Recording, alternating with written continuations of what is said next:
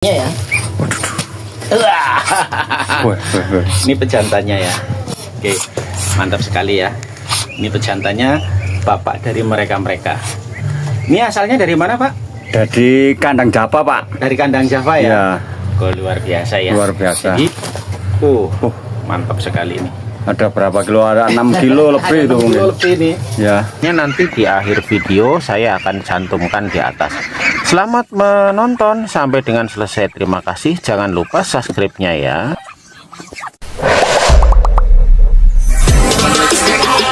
Alhamdulillah saya puas transfer ke kandang Java jangan ragu oke Halo, assalamualaikum warahmatullahi wabarakatuh.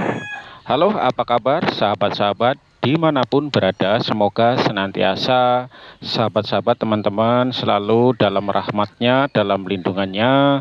Semoga teman-teman sahabatku semua diberikan kesehatan, dipanjangkan umurnya tentunya ya diberikan rezeki yang melimpah tentunya rezeki yang barokah amin amin ya Allah ya robbal alamin oke teman-teman eh, sekarang saya akan memberikan sebuah hiburan video tentang cara beternak entok nah di sini saya akan mereview kandangnya Pak Satrio ya beliau tinggal di Kabupaten Cilacap tepatnya di Desa Kesugihan dekat Kali Serayu. Nah, seperti ini penampakannya teman-teman. Yuk kita akan lihat eh, seperti apa proses eh, pemeliharaannya dan cara memelihara endok-endoknya. Serta pakan-pakannya nanti kita akan melihatnya bareng-bareng. Ya, sebelum lanjut seperti biasa di bawah judul itu ada tulisan subscribe. Teman-teman tolong dipencet agar teman-teman secara uh, resmi sudah mensubscribe saya dan ada tombol lonceng silahkan dipencet tombol loncengnya serta komen-komen. Oke ya. Seperti ini kita akan lihat masuk ke dalam. Nah uh, berbagai macam lekukan-lekukan uh, desain kandang jadi kandang entok itu menyesuaikan dengan lahan atau tempat ya teman-teman jika teman-teman tempatnya luas, tidak jauh dari eh, penduduk atau kanan kirinya kebun, maka teman-teman bisa menyesuaikan, bisa menggunakan kandang umbaran. Nah, namun jika teman-teman kandangnya padat alias kanan kiri penduduk, padat tetangga, teman-teman bisa dengan cara seperti ini. Kita umbar entoknya namun dalam pengawasan artinya si entok tidak bisa ke mana-mana nah caranya seperti ini dengan sarang-sarangnya kita pepetkan ke tembok ya. Setelah mepet ke tembok kita berikan atap atau pakai talang karpet seperti ini memanjang ya. Dengan memanjang pakai karpet atau triplek atau kasibot nanti endoknya pada nangkring di atas. Nah di bawahnya dikasih batako harbel seperti ini kurang lebih 45 kita lihat endoknya seperti ini ya dengan nyaman mereka e, menyarang dan bertelur Wah, hasil anaknya seperti ini. Setelah sudah menetas kita taruh di dalam box dan jangan lupa dikasih lampu. Ya seperti ini. Tentunya e, kebersihan harus selalu dijaga agar tidak mendapatkan komplainan dari warga. Ya kita akan lihat sarang atau tempat indukan-indukannya ya. Ini adalah jenis entok black dragon ya, entok hias, entok kontes. Namun juga entok ini sangat mendukung sekali untuk menyukupi kebutuhan eh, daging di pasar ya. Kita lihat kandangnya seperti ini, kita kasih tempat untuk eh, nyantai ya. Dengan cara panggung-panggung seperti ini maka mereka akan nangkring seperti ini ya, nangkring seperti ini. Nah, nanti di bawahnya kita bisa sapu, disapuin ya, seperti itu. Dan entok ini diumbar namun tetap dalam pengawasan artinya tidak bisa ke mana-mana. Seperti itu ya. Kita buatkan kandang sekaligus nggak usah disekat-sekat, kita umbar, kita lepas aja. Nah, teman-teman bisa lihat jadi simpel sekali ya. Untuk luasnya kandang disesuaikan dengan teman-teman ada uh, tempat seberapa. Nah, buat kolam seperti ini, kolamnya tidak usah lebar, tidak usah panjang dan tidak usah dalam-dalam. Yang penting setiap hari kita kuras. Nah, seperti ini ya teman-teman ya. Kita akan lihat sarangnya. Nah, sarang seperti ini atasnya pakai kasih bot, bawahnya boleh batu bata, boleh harbel. Kita akan cek ada isinya. Dan yang ini juga ada isinya lagi pada angrem. Dan ini juga ada isinya Alhamdulillah full ya. Nah ini lagi kosong ya. Mungkin ini baru-baru bertelur ya. Kita akan lihat lagi. Nah, ini juga lagi kosong nah kosong. Dan ini ada lagi anggrem ya. Alhamdulillah luar biasa e, produksi lancar ya. Produksi lancar yang penting kita sudah siapkan tempat seperti ini. Nah ini juga ada ini juga ada luar biasa ya menyenangkan sekali jadi sarangnya itu sangat simpel dan sederhana nah selebihnya kita lepas seperti itu mereka-mereka lagi pada santai-santai nunggu mereka dikasih makan sore hari Bayangkan teman-teman, mudah-mudahan video sederhana ini bisa menginspirasi. Setidaknya ini bisa menjadikan gambaran. Oh, cara berternak ternyata seperti itu ya. Teman-teman bisa dilihat atapnya tidak ada sama sekali alias diumbar ya. Diumbar namun tetap dalam pengawasan. Seperti itu. Jika sudah seperti ini, insya Allah entok sehat, yang punya juga sehat, dan tidak ke mana-mana aman dari predator, aman dari incaran orang-orang yang tidak bertanggung jawab, baik ada tamu yang tidak diundang malam hari pun uh, sangat kesulitan jika sudah dipagar seperti ini. Tentunya dalam membuat kandang seperti ini tidak murah ya.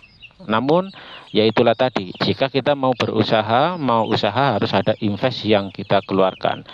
Kita lihat ini adalah kandang untuk anak-anakan yang umur 2 bulan ya, seperti ini. Jadi kita bisa umur 2 bulan dengan indukan kita bisa. Uh, maksud dan tujuannya untuk mudah cara kontrolnya dan mudah untuk menjualnya. Gitu. Seperti ini. Ini adalah umur-umur yang baru 2 bulan remaja kita taruh di sini.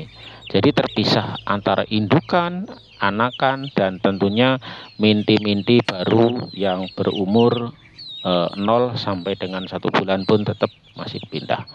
Sekali lagi kami ucapkan banyak-banyak terima kasih. Oh ya, Pak Satrio ini uh, beliau uh, awalnya menelpon ke kandang Java setelah nonton YouTube-nya kandang Java, menelpon ngobrol-ngobrol. Pada waktu itu Pak Satrio pesan entok Black Dragon ke kandang Java dan alhamdulillah uh, kita sudah saling percaya dan Pak Satrio waktu itu uh, kandangnya belum jadi. Jadi sebagi bukan sebagian, jadi entoknya semuanya 30 ekor indukan dititipkan di kandang Java kurang lebih sekitar dua minggu atau setengah bulan Pak. Oh satu bulan ya, satu bulan dititipkan di kandang Java. Namun Pak Satrio tetap mensuplai pakanan atau mentransfer uang ke kandang Java dan alhamdulillah terima kasih ya Pak Satrio. Semoga usaha Anda selalu diberikan keberkahan, diperlancar, sehat yang punya sehat buat entoknya. Bagi teman-teman atau penonton kandang Java yang berminat seperti Pak Satrio silahkan. Ini ada nomor WA-nya yang bisa dihubungi.